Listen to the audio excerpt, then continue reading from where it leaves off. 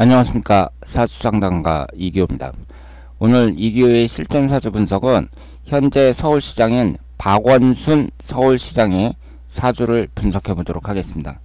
이분의 시간은 모르고, 모르고요. 지금 3주가 이렇게 나와 있습니다. 그러면 올해는 지방선거가 있잖아요. 그래서 박원순 서울시장이 이번에 당선이 되면 3선을 하게 되는데요. 올해의 운세에 대해서 한번 분석해 보도록 하겠습니다. 우리가 그 운을 분석을 한다고 할 때 사람들이 이제 그 어떤 시험을 보게 되면은 뭐 합격할 수 있겠느냐 뭐 이런 것도 많이 물어볼 수 있고 특히 선거에 나서는 사람들은 내가 이번 선거에 당선될 수 있겠느냐 이런 것도 상당히 그 궁금한 사항이란 말이에요.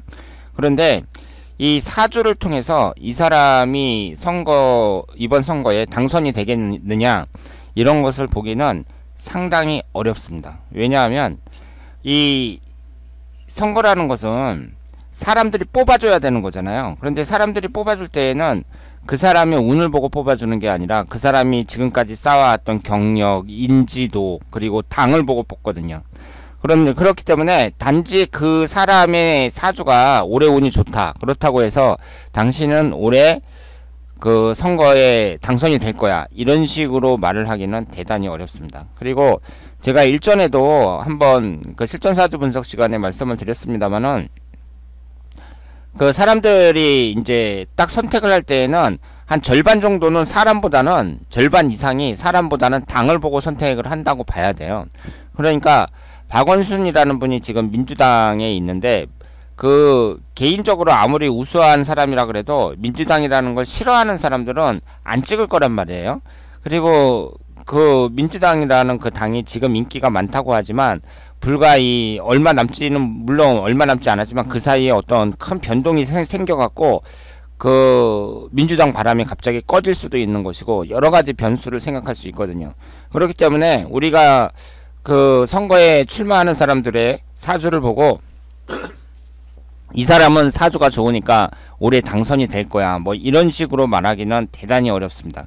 그런데 제가 오늘 박원순 서울시장의 사주를 이렇게 분석을 하는 것은 이분이 유력, 유력한 그 후보고, 물론 지금 현재 시장이지만, 그리고 이분의 사주를 보니까 올해부터 큰 변화가 있어요.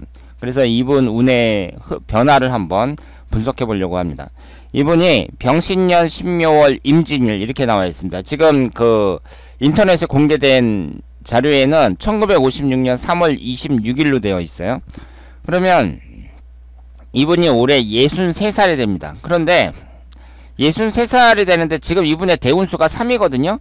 그러니까 올해서부터 72세까지 무술이라는 새로운 대운이 시작이 되는 거죠. 그리고 올해가 무술년입니다. 그러니까 지, 지금 이분이 정유라는 대운에서 지난 10년 동안 살아왔어요. 그러면서 서울시장에 두 번 당선이 되셨단 말이에요. 그러니까 이 정유라는 대운 자체는 이분에게 비교적 괜찮은 대운이었다. 이렇게 볼 수가 있겠죠. 그래서 이 정유 대운에서 서울시장을 이제 하셨고 이제 무술이라는 새로운 대운이 시작이 됩니다. 그러면서 또 올해 1년운도 무술년이에요. 그러니까 대운하고 1년운이 똑같이 진행이 되는 거죠.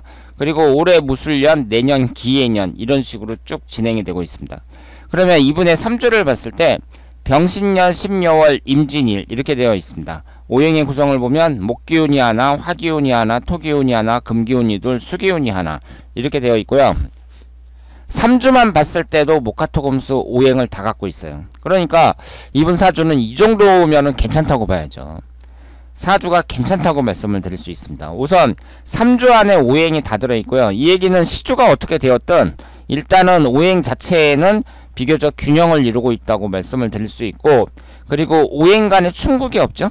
그러니까 충국이 없다는 얘기는 일주가 임진일주인데 옆에 술토가 있어서 진술충이 된다든가 옆에 병화가 있어서 병임충이 된다든가 이런 것도 없고 삼형살도 없습니다. 삼형살도. 그리고 이분이 그 월지에 이제 식신상 간운을 딱 깔고 있고요. 그리고 지지에는 관성운을 딱 깔고 있어요. 그리고 그 오랫동안 사회운동을 하신 분이고 어떻게 보면은 입지전적인 그런 분이라고 볼 수 있습니다. 그리고 이분이 이제 젊었을 때 사법고시에 합격을 해갖고 그 변호사가 되면서 사회활동을 하셨는데 이분이 사벽고시 합격할 때는 그때는 그, 그 합격자도 몇 명 되지 않았던 때예요. 그러니까 그 노무현 대통령 당, 당선될 때처럼 이렇게 사법고시에 합격한다는 것이 그야말로 그 바늘 낙타가 바늘구멍 들어가듯이 그렇게 그 힘든 시절에 이제 합격을 하셨고 그래서 그동안 계속 사회 운동을 하셨습니다. 그래서 지금 현재 서울시장까지 되셨는데요. 지금 이분의 대운의 흐름을 한번 보도록 하겠습니다. 지금 을미대운, 병신대운, 정유대운, 무술대운 이렇게 쭉 진행이 되고 있는데요. 여러분들이 사주가 이렇게 이제 균형을 이루고 있잖아요. 그러면 이걸 이제 보실 때 어떻게 보셔야 되냐면 용신과 기신에 너무 연연하시면 안 돼요. 그러니까 우리가 사주를 분석할 때 그 기본이 뭐냐면 일단 용신과 기신을 찾잖아요. 그래서 용신운이 들어오면 좋고 기신운이 들어오면 나쁘다. 뭐 보통 이런 식으로 해석을 한단 말이에요. 그런데 이 사주 같은 경우에는 오행이 이렇게 균형되게 있잖아요. 이런 사주는 용신 기신을 찾아가지고 그 분석한다는 게 별로 의미가 없습니다. 왜 의미가 없냐면 용신 기신의 그 강도의 차이가 별로 없어요. 그러니까 용신 운이 들어오면 좋은 운이다. 제가 그 우리가 그렇게 알고 있잖아요. 그리고 기신 운이 들어오면 나쁜 운이다. 이렇게 알고 있는데 그럼 또 이런 생각을 가질 수가 있죠. 용신 운이 들어오면 좋다고 했는데 좋으면 얼마나 좋냐 이거죠. 그리고 기신운이 들어왔을 때 나쁘다 그랬는데 나쁘면 얼마나 나쁘냐 이런 생각을 가질 수가 있습니다.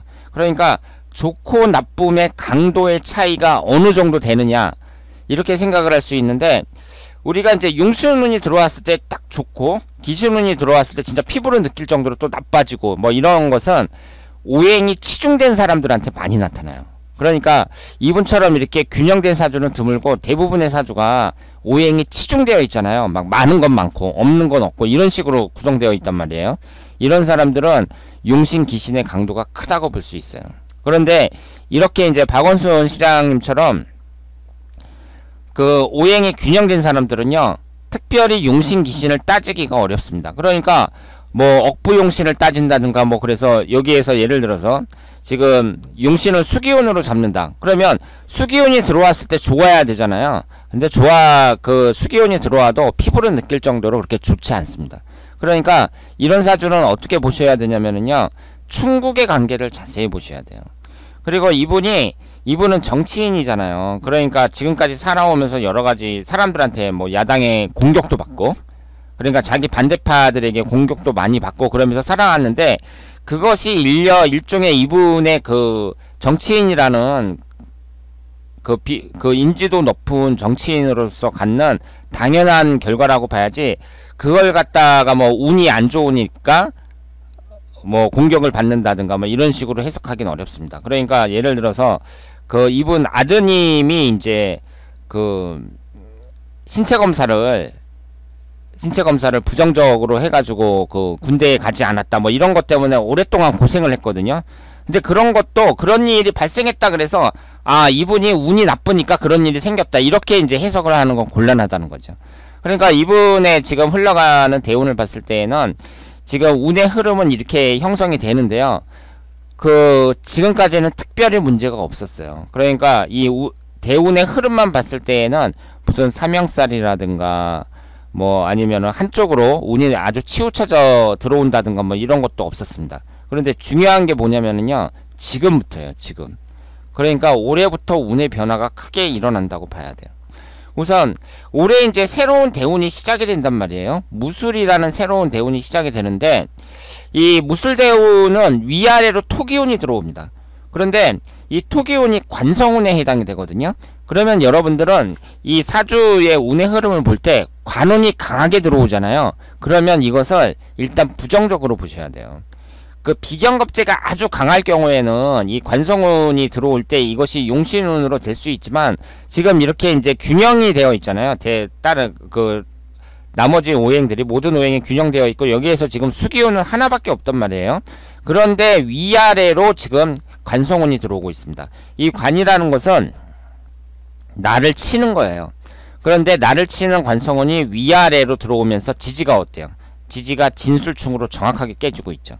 그러니까 이 우리가 이제 사주를 공부하는 사람으로서 운의 흐름만 봤을 때에는 이분의 인생 중에 63세서부터 72세까지의 운이 가장 안 좋다고 봐야 됩니다. 그런데 올해 운이 어때요? 올해 운이 올해 운이 또 지지가 진술충으로 깨지고 있어요. 그러니까 이렇게 10년 대 운하고 1년 운이 한꺼번에 치고 있죠. 한꺼번에 일지가 충을 당하고 있으면서 관성운으로 들어오고 있습니다. 그러면 우리가 이것은 여러 가지로 해석을 할 수가 있는데요. 일단은 이 진토가 배우자궁에 해당이 되잖아요. 그러면서 올해에는 진술충, 내년에는 진의 원진 이런 식으로 해석 그 되고 있거든요. 그러니까 내년하고 훈년에 배우자 관계 이런 것도 생각을 할 수가 있고 지금 공인의 입장에서 이 배우자 관계라는 게 뭐 여자랑 이혼한다 뭐 보통 사람들처럼 뭐 여자랑 사이가 나빠진다 이런 식으로 해석을 하는 것보다는 일단은 그 배우자가 정치적으로 공격을 받을 수도 있고 아니면 요즘에 무슨 미투 운동 같은 거 많이 하고 있잖아요. 그러니까 이 배우자 공이라는 게 꼭 배우자뿐만 아니라 여자운을 나타내기도 하거든요. 그러니까 그런 쪽으로 관련이 있을 수도 있고 여러 가지로 해서 그 추측을 할 수가 있습니다. 어쨌든 중요한 건 뭐냐면 운이 안 좋다는 거예요. 그러면 지금 박원순 서울시장이 운이 안 좋으니까 이번에 이제 서울시장 선거에 떨어지겠느냐? 그렇게 하기는 그 그렇게 단정하기는 어렵습니다. 제가 앞에서 말씀드린 것처럼 그 사람이 당선이 되는 것은 그 사람의 운하고는 직접적인 관련이 없더라고요. 제가 분석을 해보니까. 그러니까 그 사람이 운이 안 좋다고 하더라도 자기가 속해 있는 당이 막 인기가 있다든가 뭐 그러면 거기에 이제 충분히 당, 당선이 될 수 있죠. 그런데 이렇게 개인적으로 안 좋은 운에 접어들었다는 것은 이분이 이번에 서울시장 선거에 당선이 되든 말든 앞으로 그 자신의 여러 가지 주변에서 자기 주변에서 여러 가지 사건이 발생할 수가 있고 그리고 앞으로의 이분의 무슨 정치 인생이라든가 여러 가지로 봤을 때 그 굴곡을 느낄 수 있다 이렇게 말씀을 드릴 수 있습니다. 혹은 건강과도 또 생각을 건강을 또 생각을 할 수도 있어요. 이렇게 50 이후의 중년에 천간이든 지지든 이렇게 충을 받을 때 이럴 때에는 건강 체크를 잘 해야 된다. 이렇게 말씀을 드릴 수 있겠습니다. 어쨌든 이분의 운의 흐름을 봤을 때에는요.